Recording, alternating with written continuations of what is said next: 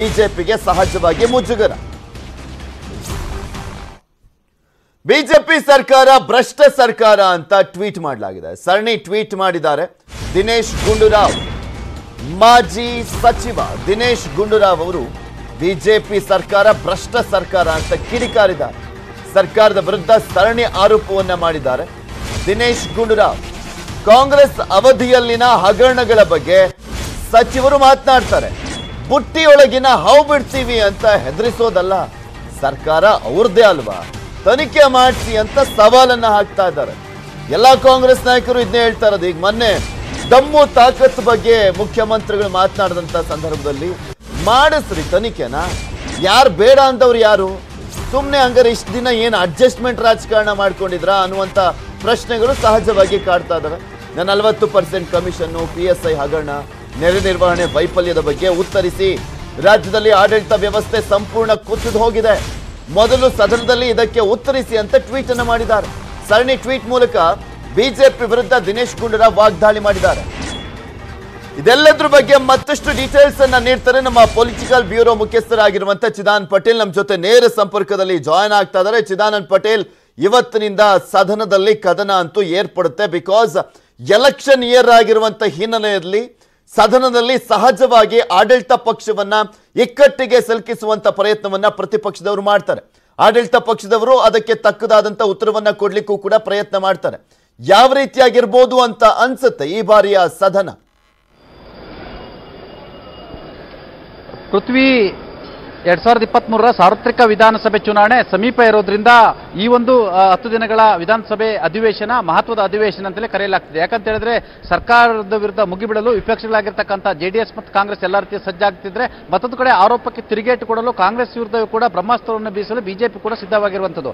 ಈಗಾಗಲೇ ಕಾಂಟ್ರಾಕ್ಟರ್ ಸಂಘದ ಅಧ್ಯಕ್ಷ ಕೆಂಪಣ್ಣರವರ ನಲವತ್ತು ಪರ್ಸೆಂಟ್ ಕಮಿಷನ್ ಆರೋಪ ರಾಷ್ಟ್ರ ಮಟ್ಟದಲ್ಲಿ ಕೂಡ ಸುದ್ದಿ ಮತ್ತು ಸದ್ದು ಮಾಡಿರುವಂಥದ್ದು ಸರ್ಕಾರ ಕೂಡ ಇದು ತಲೆನೋವಾಗಿ ಪರಿಣಮಿಸಿರುವಂಥದ್ದು. ಹಾಗಾಗಿ ಕೆಂಪಣ್ಣರವರ ನಲವತ್ತು ಪರ್ಸೆಂಟ್ ಆರೋಪವನ್ನು ತನಿಖೆ ಮಾಡಿ ಮತ್ತು ಸಿಟ್ಟಿಂಗ್ ಜಡ್ಜ್ ನೇತೃತ್ವ ತನಿಖೆ ಮಾಡಿ ಅಂತೇಳಿ ಸದನದಲ್ಲಿ ವಿಸ್ತೃತ ಹೋರಾಟ ಮಾಡಲು ಕಾಂಗ್ರೆಸ್ ಕೂಡ ಸಜ್ಜಾಗಿರುವಂಥದ್ದು. ಇದರ ಬೆನ್ನಲ್ಲೇ ಪಠ್ಯ ಪಠ್ಯಪುಸ್ತಕ ಪಠ್ಯ ಪುಸ್ತಕ ಪರಿಷ್ಕರಣೆ ವಿಚಾರದಲ್ಲಿ ಎಡವಟ್ಟು ಮಾಡಿಕೊಂಡಿರುವಂಥದ್ದು.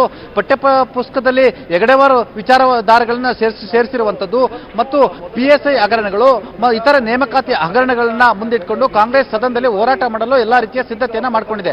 ಇದರ ಬೆನ್ನಲ್ಲೇ ಇನ್ನೊಂದು ಪ್ರತಿಪಕ್ಷ ಆಗಿರ್ತಕ್ಕಂಥ ಜಾತ್ಯತೀತ ಜನತಾದಳ ಕೂಡ ಮೈಸೂರು ಬೆಂಗಳೂರು ಹೈವೇ ಎಕ್ಸ್ಪ್ರೆಸ್ನ ಅಕ್ರಮ ಆಗಿರ್ತಕ್ಕಂಥದ್ದು. ಅಕ್ರಮ ಕಾಮಗಾರಿ ವಿಚಾರ ರೈತರ ಸಂಕಷ್ಟದಲ್ಲಿರ್ತಕ್ಕಂಥದ್ದು. ಅತಿವೃಷ್ಟಿ ಪರಿಹಾರ ಕೊಡದಲ್ಲಿರ್ತಕ್ಕಂಥದ್ದು. ಸರ್ಕಾರದ ನಿರ್ಲಕ್ಷ್ಯ ಧೋರಣೆ ಖಂಡಿಸಿ ಕೂಡ ಜೆಡಿಎಸ್ ಕೂಡ ಸರ್ಕಾರದ ವಿರುದ್ಧ ಮುಗಿಬೀಳಲು ತಯಾರಿಯನ್ನು ಮಾಡಿದೆ.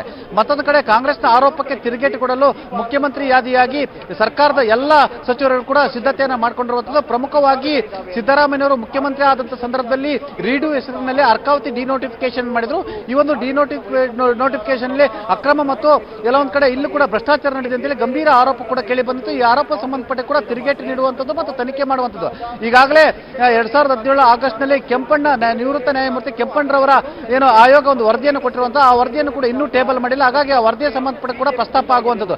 ಅದೇ ರೀತಿ ಎರಡ್ ಸಾವಿರದ ಹದಿಮೂರು ಮತ್ತು ಹದಿನಾಲ್ಕರಲ್ಲಿ ಸಿದ್ದರಾಮಯ್ಯ ಮುಖ್ಯಮಂತ್ರಿ ಆದ ಸಂದರ್ಭದಲ್ಲಿ ಆಗಿರ್ತಕ್ಕಂಥ ಶಿಕ್ಷಕರ ನೇಮಕಾತಿ ಹಗರಣ ಈಗಾಗಲೇ ಸಿಐಡಿ ತನಿಖೆಗೆ ವಹಿಸಿರುವಂತೂ ಸಿಐಡಿ ಪೊಲೀಸರು ತನಿಖೆಯನ್ನು ಮಾಡಿರುವಂತದ್ದು ಈಗಾಗಲೇ ಹತ್ತಕ್ಕೂ ಹೆಚ್ಚು ಆರೋಪಿತರನ್ನ ಬಂಧಿಸಿರುವಂತದ್ದು ಹಾಗಾಗಿ ಕಾಂಗ್ರೆಸ್ ಸರ್ಕಾರದ ಅವಧಿಯಲ್ಲಿ ಆಗಿರ್ತಕ್ಕಂಥ ಹಲವಾರು ಭ್ರಷ್ಟಾಚಾರದ ಆರೋಪಗಳನ್ನ ಮುನ್ನೆಲೆ ಇಟ್ಟುಕೊಂಡು ಕಾಂಗ್ರೆಸ್ ವಿರುದ್ಧ ತಿರುಗಿ ಬೀಳಲು ತೀರ್ಮಾನ ಮಾಡಿರುವಂತದ್ದು ಎಲ್ಲದರ ಜೊತೆಗೆ ಪ್ರಮುಖವಾಗಿ ಸೋಲಾರ್ ಹಗರಣ ವಿದ್ಯುತ್ ಖರೀ- ಖರೀದಿ ಹಗರಣ ಸಂಬಂಧಪಟ್ಟ ಕೂಡ ಸಿಐಡಿ ತನಿಖೆ ವಹಿಸಿ ಸಂಬಂಧಪಟ್ಟಕ್ಕೆ ಈಗಾಗಲೇ ಇಂಧನ ಸಚಿವ ಸುನೀಲ್ ಕುಮಾರ್ ಅವರ ಸುಳಿವನ್ನು ಕೊಟ್ಟಿರುವಂತದ್ದು ಇದನ್ನು ಕೂಡ ವಿಧಾನಸಭೆ ಅಧಿವೇಶನದಲ್ಲಿ ಕಾಂಗ್ರೆಸ್ ವಿರುದ್ಧ ಅಸ್ತ್ರವಾಗಿ ಬಿಡಲು ಬಿಜೆಪಿ ಸಿದ್ಧತೆಯನ್ನು ಮಾಡಿಕೊಂಡಿರುವಂತದ್ದು ಅಲ್ಲದೆ ಪ್ರಮುಖವಾಗಿ ಇವತ್ತಿನ ಕುತೂಹಲ ಅಂತ ಹೇಳಿದ್ರೆ ಪೃಥ್ವಿರಾಜ್ ಪ್ರಮುಖವಾಗಿ ಬಿಜೆಪಿಯ ಕನಕಗಿರಿ ಶಾಸಕರಾಗಿರ್ತಕ್ಕಂಥ ಬಸವರಾಜ್ ದಡೇಸುಗುರು ಅವರು ಪಿಎಸ್ಐ ಹಗರಣ ವಿಚಾರದಲ್ಲಿ ಅವರ ಹೆಸರು ಹೆಸರು ಪ್ರಸ್ತಾಪ ಆಗಿರುವಂತದ್ದು ಹದಿನೈದು ಲಕ್ಷ ರೂಪಾಯಿ ನಿವೃತ್ತ ಕಾನ್ಸ್ಟೇಬಲ್ ಇಂದ ಹಣವನ್ನು ಪಡೆದುಕೊಂಡು ಕೆಲಸವನ್ನು ಕೊಡಿಸ್ತೀನಿ ಕೊಡಿಸಿಲ್ಲ ಅಂತೇಳಿ ಗಂಭೀರ ಆರೋಪ ಕೇಳಿ ಬಂದಿರುವಂತದ್ದು ಈಗಾಗಲೇ ಈ ಆಡಿಯೋ ವೈರಲ್ ಆಗಿರುವಂತದ್ದು ಆಡಿಯೋ ವೈರಲ್ ಆಗಿರೋ ವಿಚಾರದಲ್ಲಿ ಹಣವನ್ನು ನಾನೇ ತೆಗೆದುಕೊಂಡಿದ್ದೀನಿ ಸರ್ಕಾರಕ್ಕೆ ಕೊಟ್ಟಿದ್ದೀನಿ ಅಂತ ಹೇಳಿರುವಂತದ್ದು.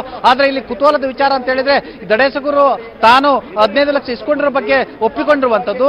ಜೊತೆಗೆ ಹಣವನ್ನು ಪಡೆದಂತ ಸಂದರ್ಭದಲ್ಲಿ ಹಾಲಿ ಮುಖ್ಯಮಂತ್ರಿಗಳು ಮುಖ್ಯಮಂತ್ರಿ ಆಗಿರ್ತಕ್ಕಂಥ ಬಸವರಾಜ ಬೊಮ್ಮಾಯಿ ಅವರು ಅವರು ಗೃಹ ಸಚಿವರಾಗಿರುವಂಥದ್ದು ಇವತ್ತು ಇದಕ್ಕೆ ಪ್ರತಿಯಾಗಿ ಕಾಂಗ್ರೆಸ್ ಪಿ ಎಸ್ ಐ ಹಗರಣದಲ್ಲಿ ಮತ್ತೊಂದು ಟ್ವಿಸ್ಟ್ ಅನ್ನು ಕೊಡ್ತಿದೆ. ಸರ್ಕಾರಕ್ಕೆ ಸದನದಲ್ಲಿ ಮತ್ತೆ ಅಲ್ಲೊಂದ್ ಕಡೆ ಮುಜುಗರ ಮಾಡಲಿಕ್ಕೆ ಇವತ್ತು ಹನ್ನೆರಡು ಗಂಟೆ ಮೂವತ್ತು ನಿಮಿಷಕ್ಕೆ ಮಾಜಿ ಸಚಿವರಾಗಿರ್ತಕ್ಕಂಥ ಶಿವರಾಜ್ ತಂಗಡಿಗೆ ಮತ್ತು ಪ್ರಿಯಾಂಕ್ ಖರ್ಗೆ ಅವರು ದಡೇಸಗುರು ಹಣವನ್ನು ಪಡೆದಿದ್ದಾರೆ ಎಂಬ ವಿಡಿಯೋವನ್ನ ಬಿಡುಗಡೆ ಮಾಡಲಿಕ್ಕೆ ಸಿದ್ಧತೆಯನ್ನು ಮಾಡಿಕೊಂಡಿರುವಂತದ್ದು Prithvi okay thank you Chidan Patel ನಿಮ್ಮೆಲ್ಲ ಡೀಟೇಲ್ಸ್ಗಾಗಿ